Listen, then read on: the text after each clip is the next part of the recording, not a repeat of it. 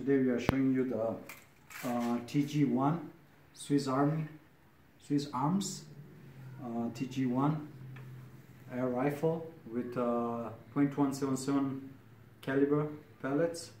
It's uh, 1,400 feet per second. That's what the box says. You can see here. It's good for target shooting for uh, small pets like uh, squirrels, birds, and target practicing. It's accurate and most powerful so far.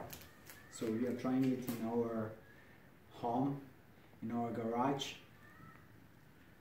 So let's see how it goes, guys. So, so guys, I'm using uh, Premier pellets, uh, pointed Premier pointed pellets, Crosmans.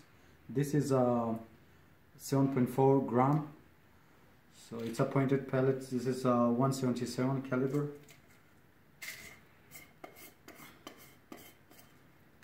Let's see.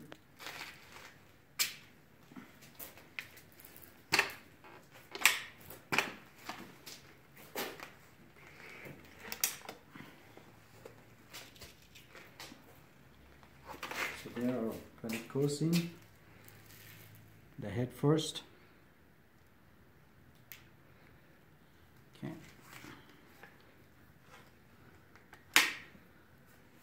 Ready to rock and roll. So I'll, I'll be giving this to my friend. He'll be trying the first shoot.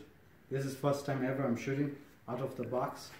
So guys, next is my friend Jamal. He's gonna try to shoot. It. Hi guys, it's me again. Since uh, my friend Jamal is scared, this is first time he's shooting indoors, so he doesn't want to take the risk. So I'm taking the risk. It's on safe now. So you can see the safety is here. If I flick it out, this is uh, off. This is safety on. So safety off, ready to fire.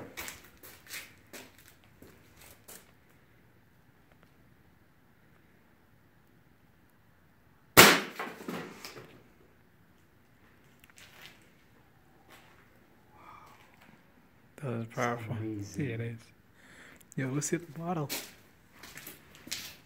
Did you shut the bottle? You shut the bottle.